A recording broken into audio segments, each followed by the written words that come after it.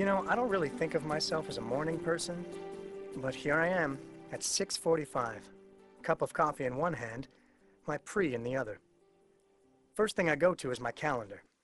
Not just my work calendar, but all my calendars together. Weather, too. Hmm. This might turn out to be a pretty good day.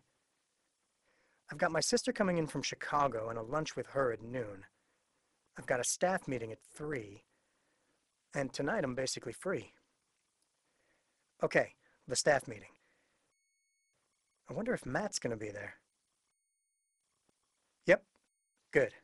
We can go over the latest numbers. And isn't that budget meeting tomorrow? There it is.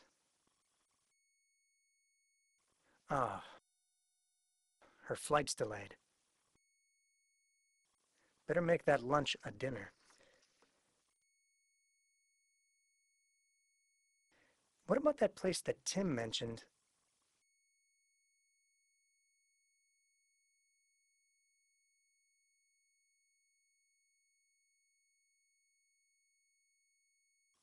Got it. And just a little something for her to read while she's waiting at the gate.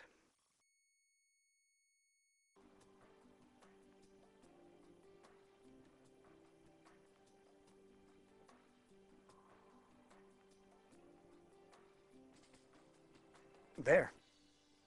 Done. Okay, it's still early and I'm ready for the day.